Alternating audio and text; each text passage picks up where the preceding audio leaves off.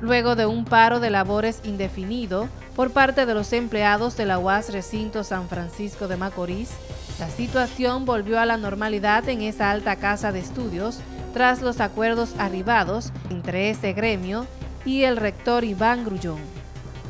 Los detalles del diálogo fueron dados por Eddie Muñoz. Mira, el pasado viernes la reunión, la dirección de ASODEMU aquí en San Francisco de Macorís y la dirección nacional en la reunión, en la maratónica reunión que sostuvimos con el señor rector, se logró eh, que para a partir de este mes los empleados del área de seguridad cobrarán un 20%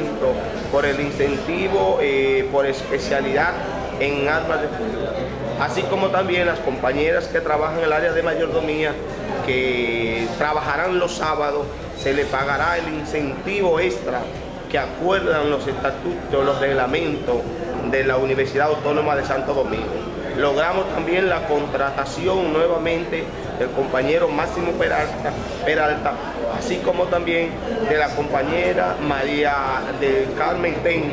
Y eh, se acordó que ya para esta semana se le dará salida al caso del compañero Paredes del área de, la cafetería y que existe la posibilidad de que el compañero Andrés Fermín, mejor conocido como Cabo, pueda ser pasado a carrera administrativa, así como también el señor rector deja sin efecto los traslados que de manera compulsiva, de una forma de retaliación de las autoridades, hicieron con varios compañeros y compañeras, porque no son del agrado de las autoridades que hoy dirigen eh, los, el destino del recinto Guasam Francisco de Macorís. NTN